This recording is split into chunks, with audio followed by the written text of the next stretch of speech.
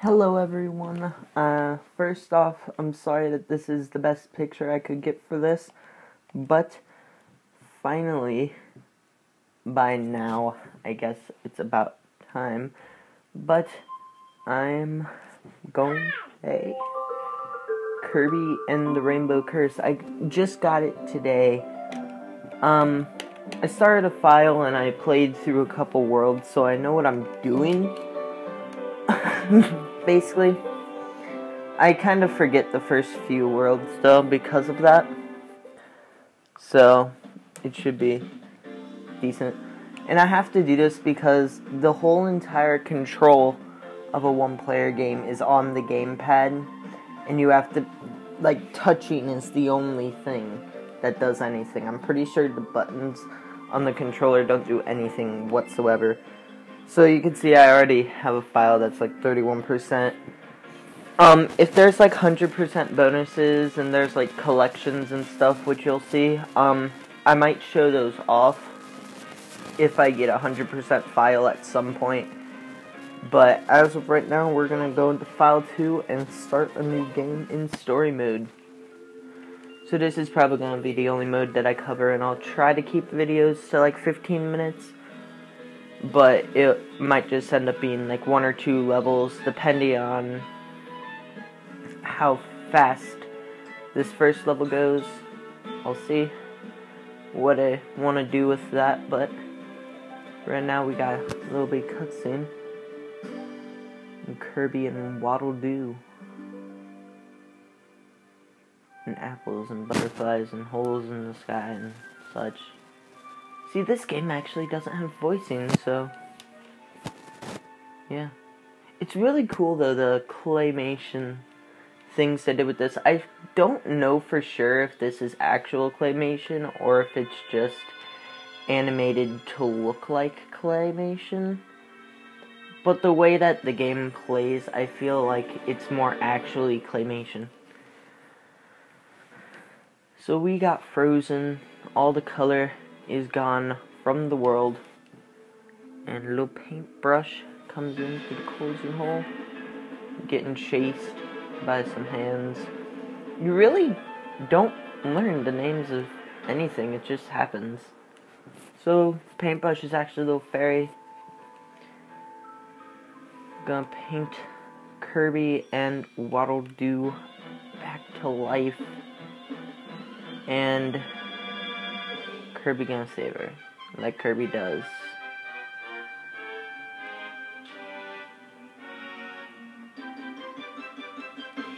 And Waddle gonna do some stuff like Waddle Doo does. So, um, yeah, explaining that you gotta go help her, but Kirby just wants an apple. I just find that funny, this one part especially. It's like, okay, I gotta do this. It's what's right. It's like Waddle immediately agrees, but Kirby's like, but the apple. I feel like at the end of this, Kirby's gonna eat an apple. That's gonna be the finale. Alright, so we're going to space or whatever. Yeah, I guess it's space. Okay. We're in space. We're on a rainbow.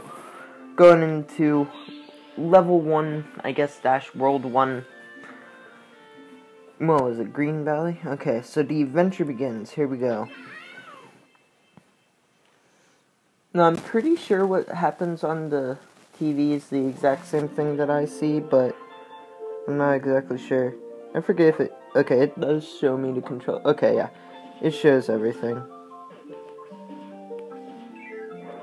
So this first stage isn't like much, it's just telling you like the controls and such. And we're gonna quickly go through this introduction stuff. Alright, so this explains that you would draw all the things. So the main part of this game is you collect stars to get um, medals in for like your rank for the level at the end of the level.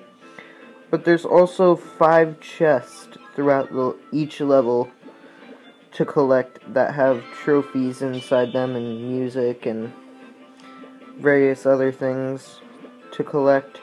I don't think I'll be collecting all the trophies, and I'll try to get as many gold things as I can, which could make the videos longer, but I think that'll be what I'm trying to do. Although I'm not sure. I really am not. This game is interesting though. It's a really interesting idea. I keep tapping on the screen thinking that that's gonna make Kirby dash. I don't know why. Going around, collecting. Oh dear, I don't think I got that. Oh, I'm out of brush, why? Why brush? I can never... I'm not that good at this game, so please don't judge me too badly. I guess. I'm not the best, that's for sure. Although, I don't really know how many people have even played this game as of yet, so... Yeah. Still probably not the best. for sure. Alright. Got a little secret here. Gonna get one up. I don't know if your lives actually continue, like, throughout playing, and I'm not gonna play on this file, so I might not worry about lives as much. But through that first area going on. It's really hard to keep track of how many stars you have because the only counter you have is to 100. And then every time you get 100, it gives you a little power which you can charge Kirby and fling them in either left or right. I'm pretty sure it's the only ways you can fling them. And he'll do that kind of dash that breaks through things that you normally couldn't. I don't think it like breaks through everything pretty much that's an obstacle, but most things. Alright, I think there's more stars, yep. Alright. Continuing on. Man. Sure is bothering me, my bad. Alright, charge up and go. Okay. See what we can do. I'll try to get as many chests as I can. Like, if I notice them, I'll try to get them, but some are pretty hard to get, and you only have one shot at them in an entire level, so that's why I think I'm not going to get all of them. Go over here and then turn back around, because I'm pretty sure there's a thing over here. Yep. Alright. This gray area up here, that's a place that we can't use our paintbrush. But, since we have a hundred star power thing charged up, we can fly up into wherever this is and do that. Now, I don't know if this bell really does anything. All I've noticed is that it gives you like 3,000 points when you ring it. I don't know if that's actually very important or not, or however that's working, but I think ringing the bell might do something like at for the end of the level, but I'm not entirely sure, so my bad. There's only a few levels of which I've actually rung the bell because it's another like hidden thing, I guess. So that's the only reason I think it's important is because it's hidden. Come on, get up there. Dang it. Go. Kirby. Thank you. Dash back.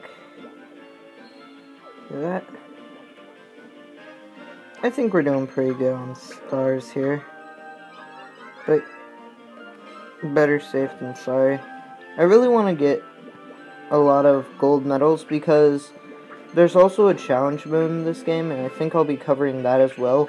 It's really not that long, and so that's why I thought I'd do it. Um, it's mainly composed of one minute challenges, and uh, it. Oh, I'd basically explain that later when I cover the challenge mode. But um, yeah.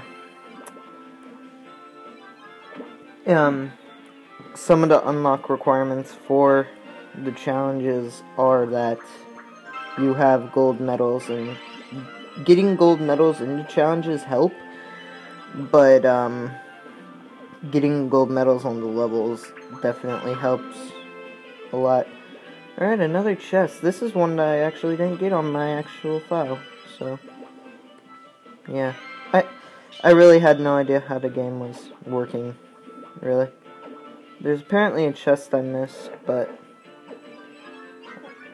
uh, okay, this video's 11 minutes. I think I'm gonna head for it. I'll see. If it's the, if it shows up obviously to me, I'll try to collect it, but if not, then I don't think I'm gonna be getting it. Yeah, I don't know where it is. So my bad. still getting some stars, making sure to get that gold. Wait, I think I have an idea. Oh wait, no, because it would have to be before that. So, I have no idea where that chest is. Great start. Alright, so what I'm going to try to get here is the uh, little book that gives you a diary entry in the paint brush girls level. I mean, diary. What am I saying? Not her level. She doesn't have a level. Alright, so we got four chests. We're gonna open them up. Kirby, her, Waddle Doo, and one of the enemies. So, and in the collection. So actually, I'm gonna look because I forget her name, and that's bothering me. Elline, I guess is what it is. So that's Elline, I guess. She's main person of this game. One of the main person persons, I guess. So what I'll do is actually like second player and stuff, but I don't have anyone else to play. Um, so I won't be covering that. So I have an amiibo thing. I don't know exactly what it is. It's just saying that you can power up Kirby in any level. I'm assuming that just means like you can use his charge power infinitely. But I'm not sure if that's actually what that means. So that's the first level. I think I'm gonna end this episode here. Um, I might switch and do some challenges if there's a bit of time left in some later levels because this level is definitely longer than that last level because that one was just mainly to introduce you to the controls and such. Um, and then there are some boss stages which really don't take that long. So, like, the third level in a world might also include the boss. And so far, it's only been four per world, so I think each world will be like three videos, but I'm not sure yet. And then it might have some challenge things mixed in too. And since this is like the first episode, and I did have a lot of talking and a bit of intro, I don't know how much extra time will really be involved. So I'll show off challenge mode. I'll just do this first one here it's just one minute. You have 15 seconds per room to get treasure chests. There are these um kind of rooms in the main levels as well, where you have 15 seconds to find or collect the chest. So I'll just show you guys what that's like.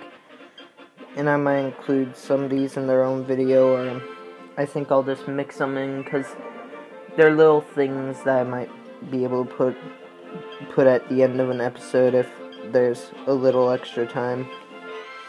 So that was bad. Not very fast. And they don't even take a minute most of the time because you have 15 seconds, and a lot of them you end up having extra time in. At least that is if you actually beat them all. Come on, there we go. And some of them you need to know pretty much the layout of the level to be able to complete it. So here we go, power up. There you go. Got it. Okay, I'm really sorry about that. That's my bad. My I've not been deleting very many things on my iPad that I record on and it had like a few of the Mario Kart things still saved on it and it ran out of space a bit. So that's all challenge mode is really. You just collect four chests in most of them. There is an eighth one, which um I'll just like show you. It's uh this one right here. There's one with a star on it. It's mainly like that one's like play six of these one minute challenges to unlock that one with a star. And there's a few challenges, so I don't know. Oh, apparently that one has two, so I don't know. But like as you can see, it's like a lot of them are get this many gold medals to unlock, so that's why I'm trying to get gold medals. So that's gonna be it for this episode of Kirby's Kirby wait a minute, it's Kirby and the Rainbow Curse. I kept calling it Kirby's Rainbow Curse but it's Kirby and the Rainbow Curse. I need to get that right. I don't know why I always said that. So, that's to be it for now. I'll see you all in the next one. Until then, goodbye. I just wanted to add real quick. I'm sorry, there's a little fuzzy sound in this. I recorded a few episodes. I think I recorded six parts there is like a slight static on my microphone. I don't know why. I think it might have been rubbing against my shirt when I was playing because I have to like play on the gamepad. I don't know if my mic's actually messed up. I'm gonna see if this turns out like this part turns out okay. And if it does, then I'll try to do better about making sure my mic's not doing that in the future. I'm sorry it's gonna be in the first six parts. I don't know exactly how bad it is, but um yeah, my bad. Um if it is doing it in this, I'll see what I can do. I think my iPad just has a mic on it and it'll re- record my voice as I'm playing. I just don't think it'll stand out as much. I just hope my mic isn't broken. Um don't really want to prolong this episode anymore, so I'm gonna leave. I basically just wanted to explain that's why that was happening, and hopefully I can fix it in the future for starting for World 3 on in Kirby and the Rainbow Curse. So, thanks for understanding that. Um, so yeah, until that happens. I'm sorry that that's in there. My bad.